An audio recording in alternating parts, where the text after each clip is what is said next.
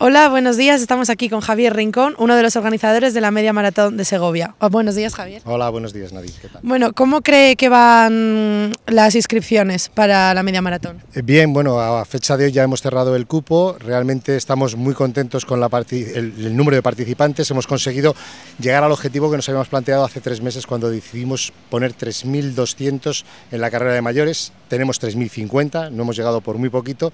Lo que sí que la verdad que la carrera de menores está un poquitín más escasa de, de atletas, pero bueno, estamos contentos de todos modos. Muy bien, estupendamente van. Luego a partir del viernes, ya digo, desde las 5 hasta las 9 va a haber entrega de dorsales. El sábado por la mañana también tenemos entrega de dorsales y por la tarde nuevamente, pero hay otra novedad en la entrega de dorsales el sábado por la tarde. A partir de las 4, 4 y media de la tarde, Graffiti Company, que yo me he quedado muy sorprendido a ver, al ver el currículum de esta gente. Nos van a hacer un graffiti en vivo y en directo para todo el mundo que se quiera acercar. Lo van a ver allí a la puerta de Gobernador Fernández Jiménez 1 y van a hacer el fotocall donde vamos a poner luego después aquí en el azodejo vamos a entregar hacer la entrega de dorsales, de, perdón, de premios, la entrega de premios. Eh, también el sábado por la tarde vamos a tener full contact eh, justo a la puerta de Bankia y el domingo por la mañana.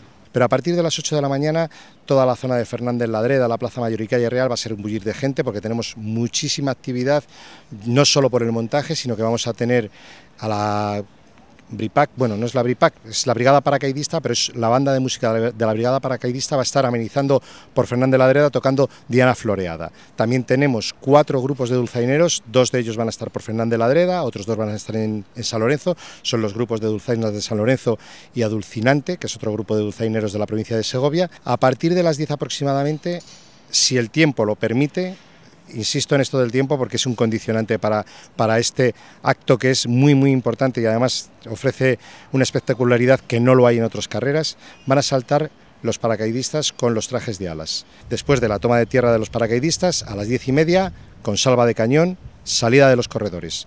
Ahí también tendremos espectáculo porque sí es que es verdad que es muy espectacular, va la, la, redundancia, ver a 3.000 corredores saliendo desde el acueducto de Segovia. También tenemos frente a Bankia una actuación de Zumba, tenemos en la calle Real una actuación, invito también a las madres, a los padres, a la gente que no corre con niños, que se acerquen a la Plaza de San Martín. Allí tenemos una actividad también complementaria, una actividad que es para niños, que va a estar muy simpática y esperamos que los niños se diviertan mucho.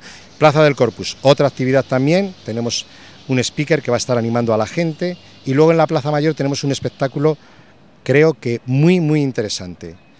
Va a haber CrossFit, que es una modalidad de gimnasio muy llamativa, con, bueno, esto me lo han dicho los del gimnasio, con tíos que deben de estar francamente bien y muy esculturales, cosa que nos parece muy bien, que vaya todo el mundo a verles, y va a haber baile activo. A última hora del recorrido, en Fernández Ladreda, que es algo que también nos llama mucho la atención a los corredores, porque los últimos metros son en Segovia son muy, muy llamativos, no hay muchas carreras que, que tengan esos 300 metros como los tenemos en Segovia, vamos a tener spinning. Lo que quiere venir es la gente a disfrutar de Segovia, de las calles, no es habitual que un recorrido sea tan urbano, tan histórico, tan monumental, no es habitual.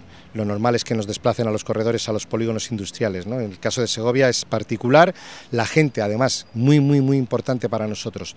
La gente de Segovia, la gente que nos viene a visitar, está animando en la calle.